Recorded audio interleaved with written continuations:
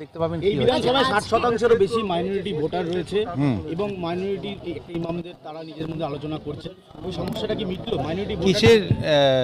দেখুন আমি প্রথমত হচ্ছে দিদির প্রার্থী মমতা দিদির প্রার্থী।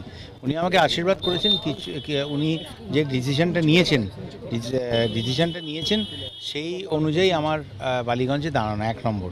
দুই হচ্ছে যে আমি অন্য একটা পার্টি থেকে আসা একজন মানুষ। আমি সেখানে আট বছর ছিলাম, নানা রকমভাবে সেখানে লড়াই করেছি। তো মানুষের মনে যে প্রশ্ন আছে, সে প্রশ্ন থাকাটা খুব স্বাভাবিক।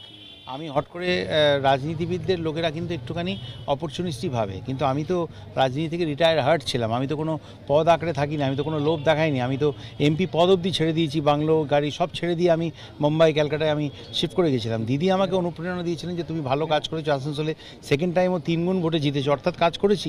তো তুমি পাবলিক লাইফ ছেড়ো না, তুমি বাংলার জন্য কাজ করো, বাংলার মানুষের জন্য কাজ করো। সেই ওনার অনুপ্রেরণায় আমার আশা এবং ওনার আশীর্বাদে ওনার ওনার ওনার ক্যান্ডিডেট হিসেবে আমার বালিগঞ্জে দাঁড়ানো। কোনো প্রবলেম নেই এবং যে প্রশ্ন যার মনে আছে, সেই প্রশ্নটা আমি মনে করি যে সেটা খুব লজ লেজিটেমেট প্রশ্ন। কি থাকতে পারে, কি নয়? অনেক বিজেপির লক্ষ লক্ষ কোটি কোটি সোশ্যাল মিডিয়ার মানুষ আছেন। তারা আমার আগেকার সমস্ত ভিডিও কেটে কেটে হোয়াটসঅ্যাপে এখানে ওখানে ছড়াচ্ছে। এভাবে এটা যে রাজনীতি সেটা সবাই জানে।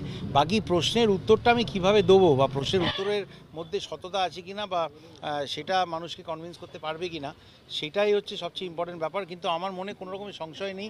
তার কারণ হচ্ছে যে ভুলে যাবেন না আমি কিন্তু সেই ব্যক্তি যে ভোটের আগে, ভোটের পরে অনেকেই নাচানাচি করে। ভোটের আগে প্রতিবাদ করেছিলাম। ভোটের আগে প্রতিবাদ করেছিলাম যে যেটা হচ্ছে সেটা ঠিক নয়।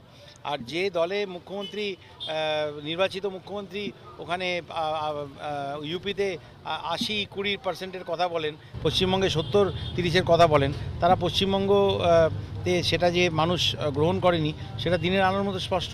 বাকি প্রশ্নরা, প্রত্যেকটা প্রশ্নকে আমি লেজিটিমেট বলে মনে করি। মানুষের এক মিনিটতে আমাকে দেখল আমি পাট্টা পরে চলে এলাম আর আমাকে বিশ্বাস করে নিল। বা কিন্তু আমি সবচেয়ে বড় আমার যেটা পাওনা সেটা হচ্ছে আমি মমতা দিদির প্রার্থী। কাজেই সম্পূর্ণ সম্পূর্ণ পরীক্ষায় পাস না করলে আমি বালিগঞ্জের মতো জায়গায় যেখানে সুব্রত মুখার্জি ছিলেন সেখানে আমি আসতাম।